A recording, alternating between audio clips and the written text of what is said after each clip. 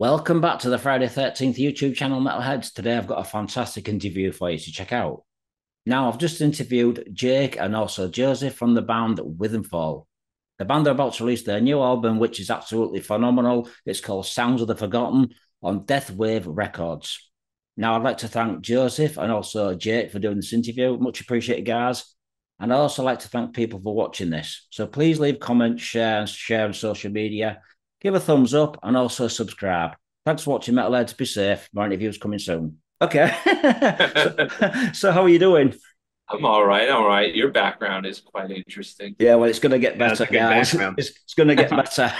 so, I want to thank you guys for talking to the guys from Witherfall. We're talking to Jake and also Joseph. So, first of all, I want to thank you for doing this interview. And your new album, by the way, is absolutely fucking fantastic. Thank you.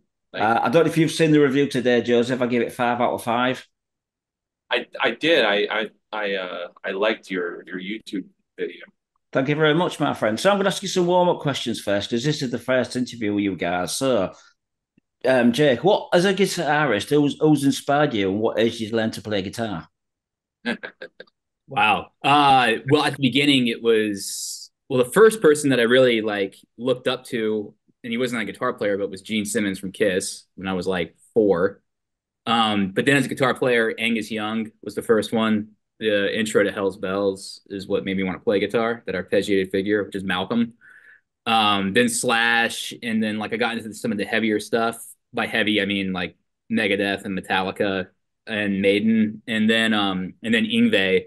And then when I heard Yngwie, that was that was it for like just wanting to practice all day and and try to get you know cop his his Swedish feel. So yeah, it's I think those guys are like the ones that really, really kind of when I was a kid got me. I, I got bit by the bug by all three of those guys. Three or four. So what? So what's your first guitar you have, and do you still own it? My first guitar, I think it was like uh it was a miniature, um, like God, it wasn't a it was it was like a knockoff Taylor. So, but it was one that was used because my first guitar teacher wanted me to like um, learn on an acoustic, which was just boring and painful as hell and very uninspiring. And you're trying to learn, you know, you want to play ACDC, but you're you're having to learn all these songs on these chords, and the action was super super high. So, um, but no, I don't own that one. And then eventually, I got like um, my my dad gave me his his cream Les Paul, which I have over here. That was probably my first real guitar that that was gifted to me, and um, it was it was pretty cool. Pretty sure it was stolen from like 1989 because I think he got a good deal on it at a pawn shop. Okay, then. So, Joseph, what about you as a singer then? Who, who inspired you to become a singer?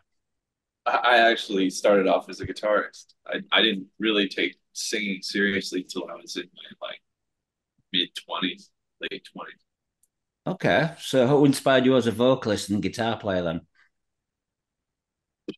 I mean, probably the same as Jake. We both love Slash and Yngwie and, and uh, Andy LaRocque. And we both came from like a hard rock background, and then got into like classical music and and you know the the neoclassical movement. But yeah, I I don't know, man. Like that's a tough call. Like as a singer, like I I just I just wanted to write songs like and and I could never find a way could never find someone that could bring those songs to life. That's why I you know, I just kind of turned my focus from, from playing guitar to to learning voice and and building the instrument so that, you know, I could just do that myself and not have to rely on, you know, the unreliable lead vocalists out there that don't play any instruments. Right then. So who's inspired you as a singer then? Who's your, who's your influences? Who's inspired you? I mean, like the obvious ones, but for different reasons. Uh, like Sebastian Bach was an early one. Uh, Steven Tyler, early one. I mean, Bon Jovi was huge for me, like back in my formative years. Um, Colm Wilkinson, the the Irish tenor, the first uh, Jean Valjean in uh, in Les Miserables. Uh, for metal, like I always like the really interesting, like unique singers like King Diamond and, and you know Zak Stevens. You know, people that are doing something a little different than just trying to mimic like Priest or Hetfield. You know. Right. Okay. That's interesting to know. I mean, your influences that you've just said really don't seem to fit in with Witherfall's music, does it? It's completely different to what you guys have just told me. I don't know. Like, take a deeper listen into some of the vocals. Like, you'll you'll catch some R and B influences in there too. I'll have to listen to the new album again and see if I can hear some Bon Jovi. oh yeah, yeah, yeah, absolutely. So, what band were you guys in before Witherfall got together? What band was you in, Jake, and you, Joseph? What was you in before? We were in the same band. Yeah, we were in the same band. Uh, we, actually, we actually formed Witherfall because you were telling us you were in Leeds. We were in Lyme. Oh, you're Leeds. Okay. Yeah, tell us a story, Jake. Yeah, we were in a band called White Wizard back in 2013.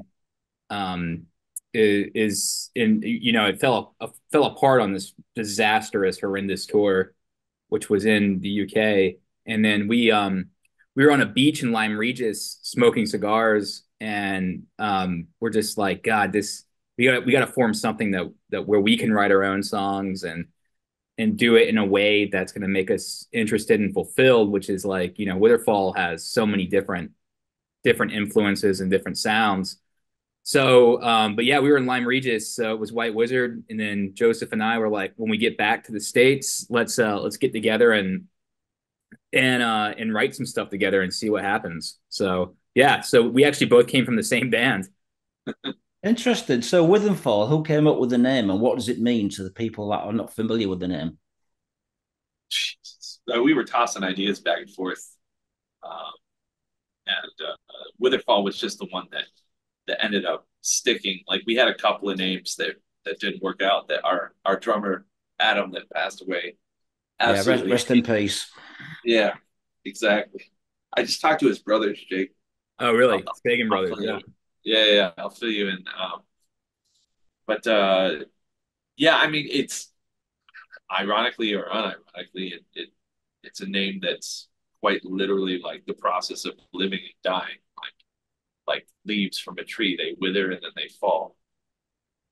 Right, very interesting that you've come up with that name. So, I mean, your first album, Nocturnes and Requiem's a brilliant album. You put it out yourselves, I believe, officially, didn't you? It was like a self-financed thing. Yep. I mean, that is such a unique album. When I first heard your band, it kind of reminded me of Sanctuary, Nevermore, Psychotic Waltz, Evergrey, Evergrey, Symphony X. Do you kind of agree with me with them influences? They're not direct, but I can hear what you're saying. yeah, definitely. Yeah, um, like yeah, Joe saying, a lot of our stuff is kind of like probably listening to the same people as those guys, you know. So. I think we wanted to do something that was a little bit different. We came from at least at least where I was coming from, like it, a lot of the the bands that we were kind of in where you had to you there was there was a, some strict rules you had to apply by it seemed like when it came to songwriting which i just i hated you know it was like you could have a cool you could have something really cool, but it was going to get tossed out because it didn't fit under a certain mold. And that just always seemed so creatively just dumb, you know, like it, you, you couldn't, you can't express yourself that way. So we really wanted to do something that was just all of our ideas that we wanted to hear in a band and, and put it out there. And I think above all, it's something that is like, we, I, I just remember Nocturnes and Requiems being super happy with it when we finally got the the final master back and being like, this is a record I would want to listen to. Like these are the songs that like if I heard this, I'd be happy with it. I'd be like, I oh, got to check these guys out. And I think that was kind of our, uh, at least for me, that was like what I wanted from day one. You know. Yeah, I mean when when when I first did the first album, two bands that two bands that sprung to mind was Psychotic Waltz and Nevermore. I think there's something about the Psychotic Waltz influences in there. I don't know if you guys agree. Like the we first, never, I never, I never, never listened.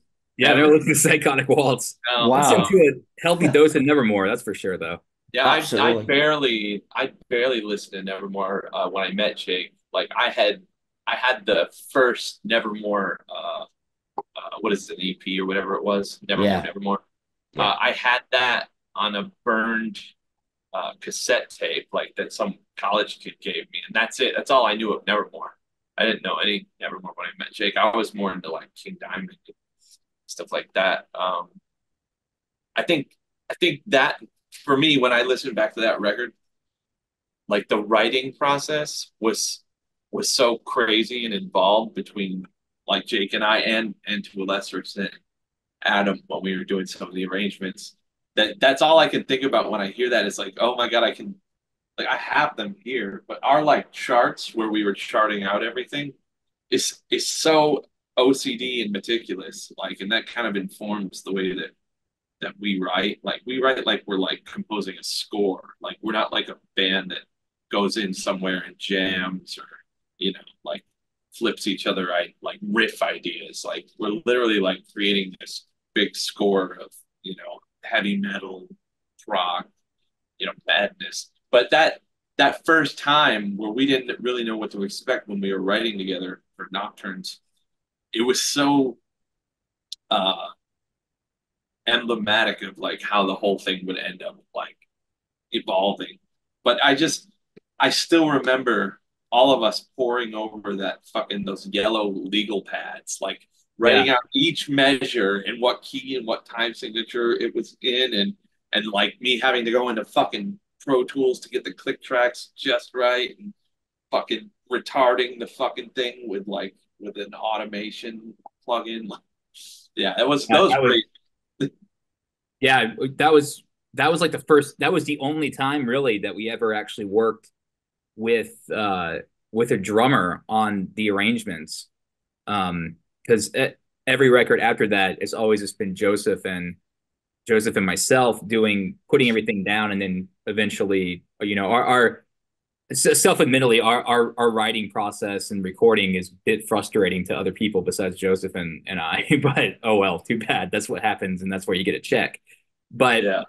but like that was I remember we were working on songs with uh with a drummer in the room, which was which was really cool. And that was with Adam, and it, it really hasn't happened at all since then, you know. Um, it was an attempt. It was an attempt. Yeah. so, but uh but yeah, that was yeah, th- thinking back to making that record, that was um and, and originally actually Nocturnes and Requiems was supposed to be an EP, you know. It was but it, became you know 45 minutes or however long it is it's it's almost it's yeah, 47 i think you know did it sell well did it sell well for you yeah, yeah yeah, well enough for the label one to come steal it yeah i mean i mean yeah. the next album you did i mean you did this album um a prelude to prelude to sorrow because this is when you signed to century media records how did the deal with century media come about uh, well, that one, well, they actually they heard. I think through when I got into Iced Earth, I think that put a little bit of um, eyes on the band a little bit. And John had a good relationship with Philip, at, that's the head of the label, and um, I think he had seen like we we got in a lot of like German magazines for like best demo of the year or something. I can't remember something like that. And I think that put some eyes on on it. And um, I remember I was in I was in on vacation in China when Schaffer wrote me and said, "Hey, can he give uh, my email address to Philip?" And then Philip pretty much just wrote us, you know, was like, "Hey, let's let's we're really interested. Let's put out um, Nocturnes um, re-release. I think, and, and maybe like a European release. I think with it.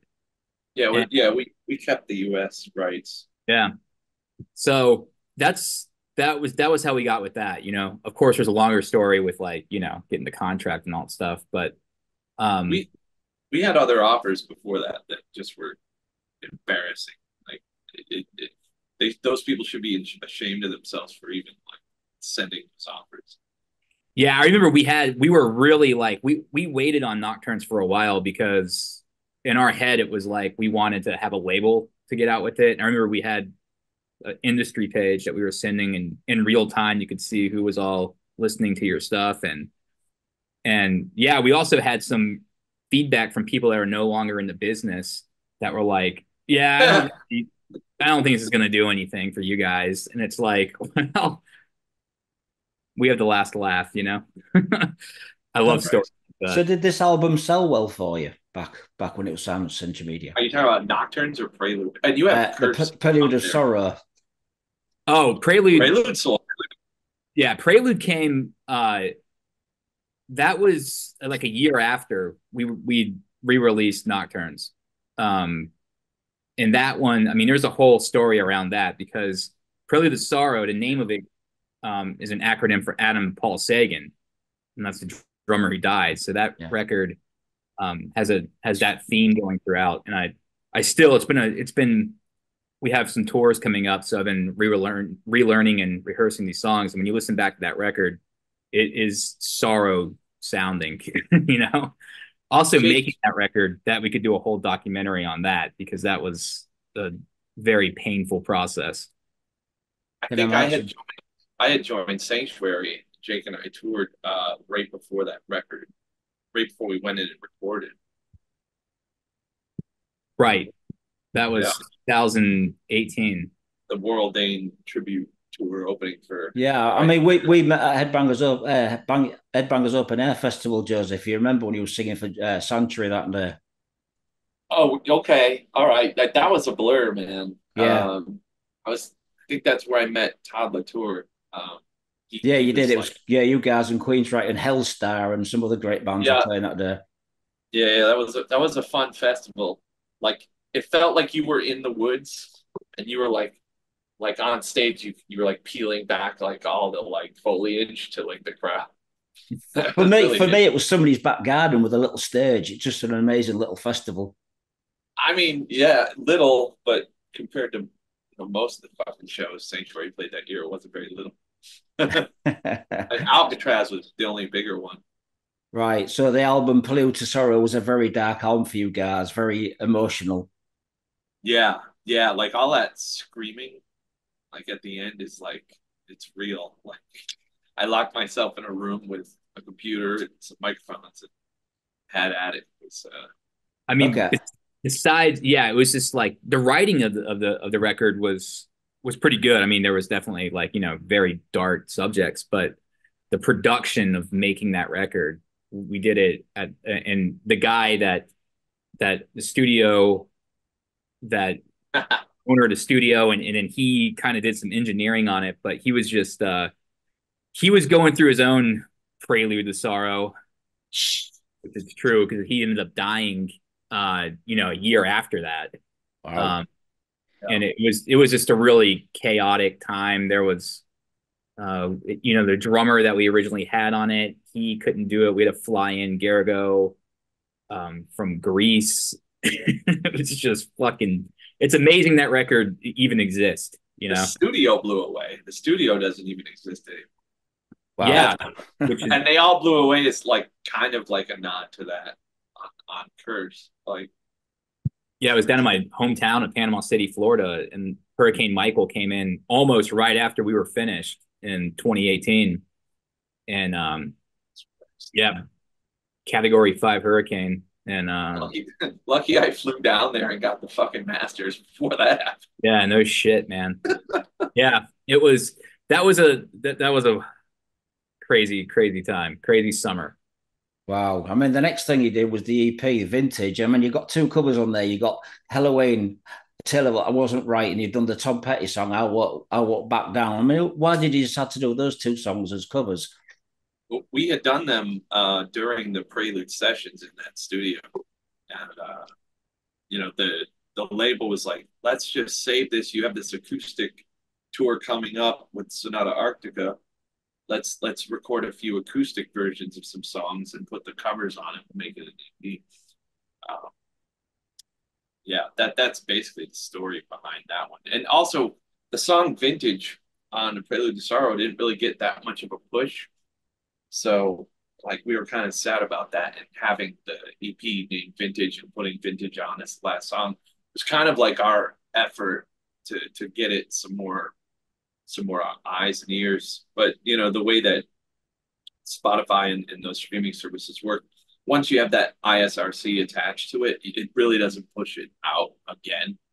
Like it's it's considered a song that's already already released. Like we'd have to do something else to. Okay. Something. Yeah. But I mean, it sold well. It sold out. It was it was uh the digipacks were limited and totally sold out. I think we have like six left. It's very expensive to buy on eBay that EP. Well, because there's none left. Right. Yeah.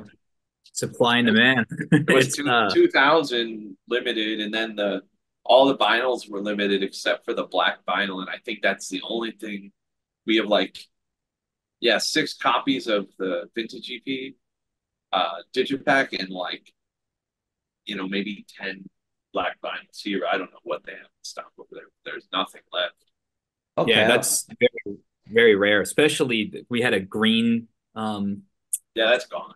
green vinyl and then like a The Uh, fair decree. yeah, and and those were those sold out, you know, probably within that tour that we did. And we also did a, a reworked version of Vintage. Um Yeah. Acoustic arrangement of it and uh kind of a medley thing. And we had to do that. We got called up by Century to do to do that EP and have it finished before um the Sonata tour, which was in March of that of of of 2019. So we were Well, working. yeah. We did it right before we went to Japan. We went there, literally fucking shut the Pro Tools unit down and had to get to LAX to get on a flight to Japan to to do a tour or uh, you know, well, uh, two shows with Kamelot in Japan. But that was uh, yeah, that was that was another interesting one. So um, Dude, and it's cool because the Tom Petty cover was like totally just out of nowhere. We were working on the song Shadows off of Prelude at Joseph Studio in Vegas, and it was probably 4 a.m.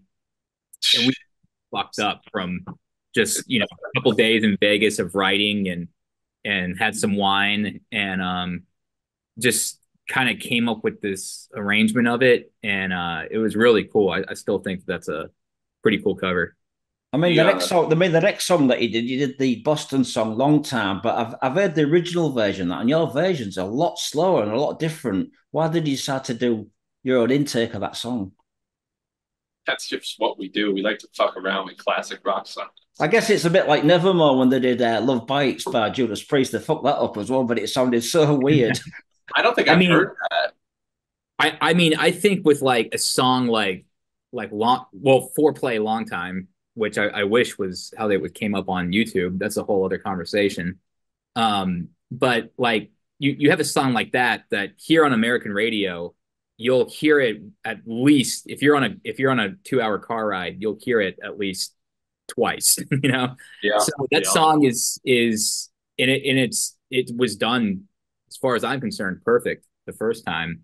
How can you like redo that, you know? And and we plus yeah, I think we tried like making it a little bit quote unquote heavier and we're like this isn't working. It's too much of a majory kind of attitude. So we love to mess around with the harmony and we came up with an acoustic arrangement to it which uh I think really makes the lyrics poke out more, you know? It makes it much darker. It is Right. a sad if you if you just read it as as poetry, it's very sad. And then I was like, this is like we're like singing Brad Delp's like sad song back to him after he killed himself.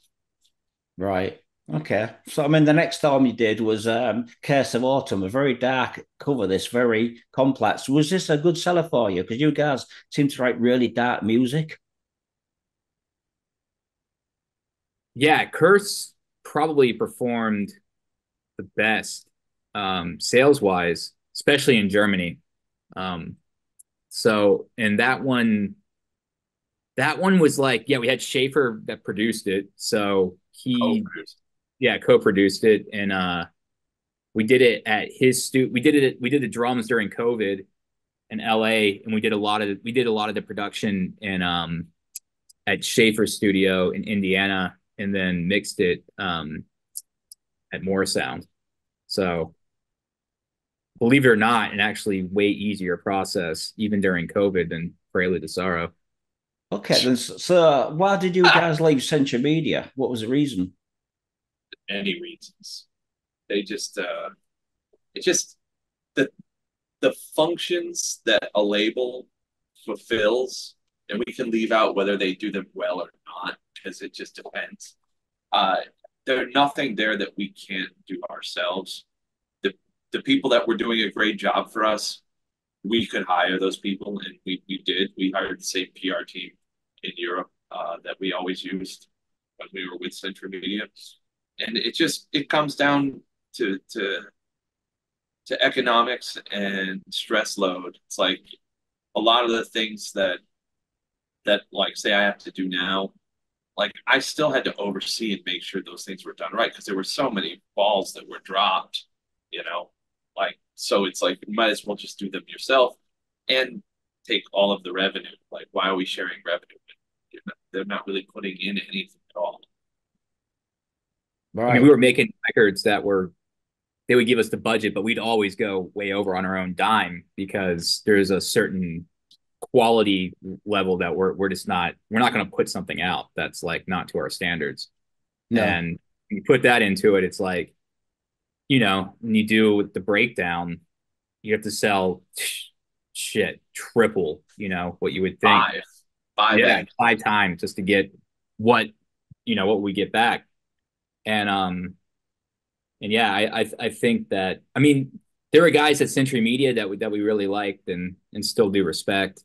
Um, and you know they were nice to us, but uh, yeah, there was it, it's been we get the same thing, you know, by doing it this way than we were a Century, and it was also like you know we, we like that control and maybe too much control to some people, and then you know it's just nice not to get like yelled at for wanting your product to be as best as it can be. That's not fair. Yeah, yeah. It, it just I'll give one example. The the record you're talking about, Curse of Autumn. It it was uh, it charted at number 83 for the first week in the United States. It was right next to Miley Cyrus's uh, Plastic Hearts record. Log on to Billboard Pro. Oh, there's no album cover for our record. There's just a big fucking question mark because the label forgot to submit the artwork along with all the metadata, right? So it's like, why why are we sacrificing eighty percent of the revenue for them to fuck up when it's we're just as stressed out and have, have to do just as much work anyway to make sure they don't do stuff like that. We might as well just take care of it ourselves. Yeah. And then if we would like ask them about it, they would get mad at us. Yeah. They'd say we did something wrong. Yeah. That's weird because yeah. I mean you've set up your own label now, with Death Wave Records. So, you, like you said, you cut everything out. You own everything. Is this the way yeah. to go for a lot of bands? Do you think? If if they know how to do this stuff, I mean, like if you know a little bit about copyright and trademark law and how to how to navigate like all of the you know all of the the PROs and Sound Exchange and the MCL and like you know if, if you know a little bit about business, then yeah, you could probably do it if you have funding. You know, like I mean, bigger bands don't need as much. Like you know, like like John when he wanted to go independent, he could announce a record, drop a record, and, and be you know in the black within a week, right? Like it's not that big a deal. But for a new band, you know, like the label can be useful, like if you don't have a, an external source of funding, you know, just to go in the studio because right. you gotta make you gotta make a good product. Like you know, like this whole laptop fantasy that everyone has, thinking they can make a classic record on a laptop and a hundred dollar interface is fucking bullshit. It's bullocks. Okay. Right. so we're going to talk about the new album then. Uh, um, Sounds of the Forgotten. Who came up with the title? Did you have any other titles? It's the same story. Like, you know, like we're all just kind of Jake and I are just sitting there, usually drinking and uh, throwing back and forth like words that kind of fit the mood of what's going on. Uh, I think we were talking about, we always talk about water and like musical terminology, and then somehow we drop the musical terminology for this one. Right. So, yeah, I mean, I think it sounds as like a body of water, which is what we wanted to showcase in the artwork and we were came up with that title. It eerily looks exactly like what the artist came up with, um, yeah. which is very, very bizarre, but but also yeah, well, crazy. like how how that looks just like Jake's backyard. So yeah. who, who, did the artwork for the albums? Is he has his artist done all the previous albums? No, no. He, he went MIA. Uh, I think from what I've seen since last time I talked to Kristian, is that he's concentrating more on uh, monetizing his past work. Like it's probably more profitable for him to take all of his records and travel around to all the, the you know the art galleries and, and do shows than it is for him to you know he he's so meticulous painting these fucking things it takes him three months to do one so he can do four a year and they're not they're expensive for what most people would consider to pay for an album cover but for producing four of something a year they're not that expensive so I, I think he's he's focusing less on doing newer stuff and more on like you know bringing his catalog around. So so yeah, how would you? so, but, but the guy that we used on this record was Blake Armstrong, who who's done uh, In Flames. Um, I th- I think he's done some work with uh, Megadeth recently, not for an album art, but for like some of their promos. Right, and right. He does a, he does quite a bit of stuff in the the film world. He does um, Harry Potter and Wednesday, the, the show Wednesday. And he came up with that freaking album cover and I mean, it was ridiculous how quick a time. Like two days. two days. And we got that. And I don't think I think it's been one of the only things we've almost just first passed have said, yeah, this is this is great. Um and and nothing to knock Kristian either. I'm huge fan of Kristian's work and and uh I remember when we were on that Sonata tour, it was like a big privilege. I don't think Kristian meets a lot of his bands, but he came, he traveled to uh, Malmo um, to see us, and we hung out in the. We were in Malmo, and we hung out in the Irish sports bar. I remember that. It was hilarious. yeah. so no, we have, we have memories, but yeah, but Blake Armstrong was the one who did um, who did this who did Sounds of Forgotten and and really really knocked out of the park. I think the coloring of it is is fantastic and I think it really showcases. And again, every time I look at it, I'm like, how the hell? It's it's like he took a snapshot of Joseph and I there because there there was a full moon, which again is you know huge. Yeah.